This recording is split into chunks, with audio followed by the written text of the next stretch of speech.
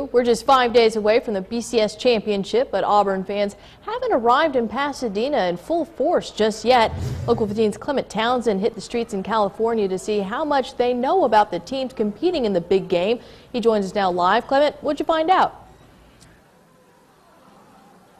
Thanks, Andrea. It's pretty eye-opening to find out what sports people care about when you go to a different place. Of course, in Alabama, football is king, but here in California, apparently, college football isn't the talk of the town. The national championship game on Monday, you do know which game I'm talking about, right? Who's playing in the game? Um, I forget. Only watching Bama. which Bama team? What's the name of the school? I don't know, Univers University of Alabama. Right, but they didn't make it this year. No, they didn't. They got beat this year. They got beat in the Iron Bowl by I don't remember. Auburn. Oh, that's right. Auburn. Auburn and Florida State. Auburn and Florida State. All right. Give me your thoughts on that game. Well, um, I don't really care much for Florida, but Auburn State's pretty cool. What do you have against Florida? Florida, it's just it's like the bottom of the country, so the bottom of the country, huh? So you won't even watch the game on Monday? maybe, probably not.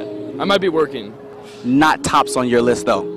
no. Nick Saban, which of which of those teams does he coach? Nick Saban, I don't know. You, you never heard of the guy Nick Saban before? No. I forget. Alabama, see there? Yeah, Bama. Almost had that one. Yeah. So if I asked you to pick a winner, who would you pick? Bama. Auburn, Auburn. the team that is in Alabama. Yeah. Tell me where's Auburn located? It's in Alabama, but tell me, just give me a guess of where Auburn is located in Alabama. Auburn. How about it? See there, you got that one right. Not bad at uh, all. Those two guys were great sports, even though they didn't know much about the sport of college football. Did you hear the guy say Auburn State? And the other fellow had no idea who Nick Saban was. I'm speechless. Andrea, I don't know what to say about that.